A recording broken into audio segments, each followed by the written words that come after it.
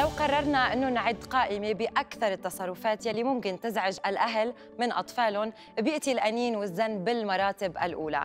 ولمناقشة هذا الموضوع وهذا السلوك بالتحديد معنا اليوم بالاستوديو الدكتورة سمراء منصور الطبيبه النفسيه ومتخصصة بالطب النفسي للأطفال والمراهقين. دكتورة سمراء مساء الخير. مساء النور. يعني الزن والأنين بنشوفه عند أغلب الأطفال. باعتقادك شو الشيء يلي بيدفعهم لهيك سلوك؟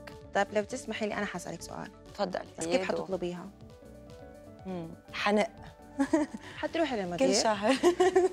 حتروحي للمدير وتقولي له أنا أحتاج علاوة صح؟ صح. قال لك لا. حجرب مرة حاول مرة أخرى. حتحاولي مرة أخرى.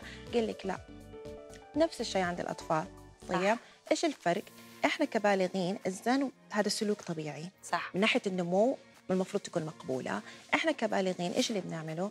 أحد قال لي لا حبدأ أسأل مرة ثانية بعد كده حبدأ حتبدا تقولي له أنا حاطة ساعات كثير أنا ممكن أحط ساعات أكثر أنا دخلت مثلا الأشياء هذه وتبدأ تحط المميزات اللي أنت عملتيها. إذا قال برضه لا في النهاية عندنا القدرة كبالغين إنه خيبة الأمل هذه إنه أقبلها صح. وأقول it's okay okay. أحاول بعد ستة شهور على قدام شوية.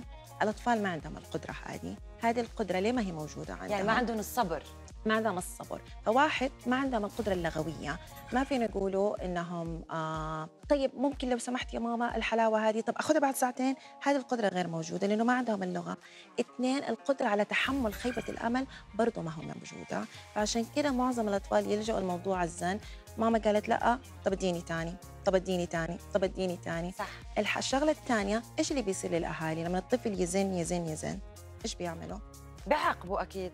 واحد إيه. أو بيعطوهم اللي بدهم إياه مشان. اي صح okay. يخلصوا من so لو أنا أعطيت علشان أخلص إيش علمت الطفل إنه يزن يضلوا يزن ليحصل على اللي بده. إياه فأنا السلوك موجود بس أنا اللي خليت السلوك يستمر كشخص بالغ لما خليت الطفل أو أعطيته كل ما زن وزاد الزن أقوم أنا أعطيه اللي هو يبغاه وعشان كده بيستمر معي طيب دكتورة سمراء بس خلينا نرجع لأول نقطة اللي هي ال- العقاب يلي ذكرتيها بالأول أغلب الأهالي بيعاقبوا أطفالهم لما يزنوا ولما يصير في نق وأنين so so, باعتقادك هل هالشيء ممكن ينقلب سلبا على الطفل أو حتى على الأهل؟ جدا الطفل بيزن و tantrum أو حكاية البكا والزعيق بتحصل ليش؟ لأنه أنا أبغى شيء معين وأنتم ما نفذتوا لي إياه، قمت أنا إيش عملت؟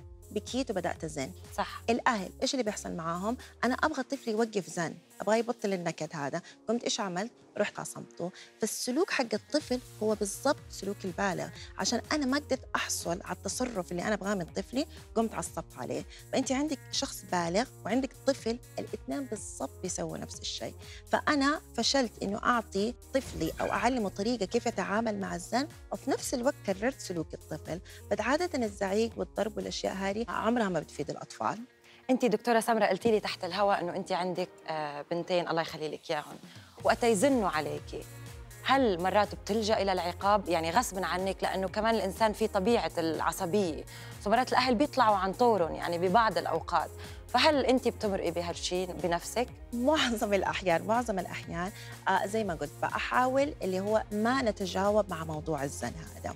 واحدة من الأشياء اللي دائما نعملها لما يبدأ الزن لا أخليه يستمر، أول شغلة بدي أسويها، يعني مثلا لو أنا على التليفون واجت شادن ماما ماما ماما وأنا على التليفون، طيب واحدة من techniques اللي الواحد المفروض يعملها إنه لحظة طيب وأعمل معها تواصل بصري لأنه ساعتها. اديتها ال attention إنه أنا معك على الخط أنا شفتك اعطيني 5 minutes.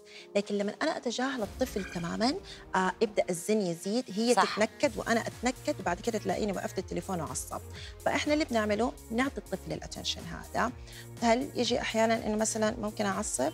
يجي أحيانا ممكن الواحد يعصب. إيه. آه بس زي ما قلت لك برضو قبل كده لو أنا 80% ل 60% بسوي السلوك الصحيح مع طفلي ال 20 وال 30% هذه إحنا كبشر إلا ما تطلع مننا. دكتورة سمراء بدي منك نصائح سريعة وفعالة للأهل ليساعدوا أولادهم أنهم يخففوا من هالسلوك. نصيحتي الأولى دائما أوجهها للأهل ما أقدر أفرغ غضبي على الطفل. النكد عشان أنا أتضايق ما أقدر أنا أزعق أو أخاصم الطفل. فدائما بقول للأهالي خذوا خطوة على الوراء إحنا اللي المفروض بنعصب لأنه إحنا بنربي الطفل وبنعلمه. اثنين حطي نفسك مكان الطفل. أنا متضايق وأنا زعلان فواحدة من الأشياء اللي لازم نعملها فلان أنا عارفة إنه أنت زعلان إنه أنت ما أخذت الحلاوة مثلا بس معلش ممكن ناخذها بعد ثلاثة ساعات أو ممكن ناخذها بكرة. بعطي له أمل.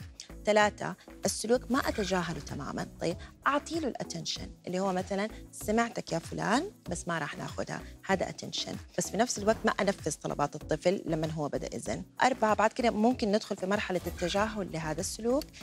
هذه كده الأشياء السريعة خمسة actually والأهم اعطي له البديل. بدل ما يزن أخليه اعطي له وسائل. أنت كيف تعبر عن غضبك أو كيف تعبر عن أنت اللي تبغاه؟ بكلمات بسيطة يوصل لي إياها. شكرا لك دكتورة سمرة. يا هلا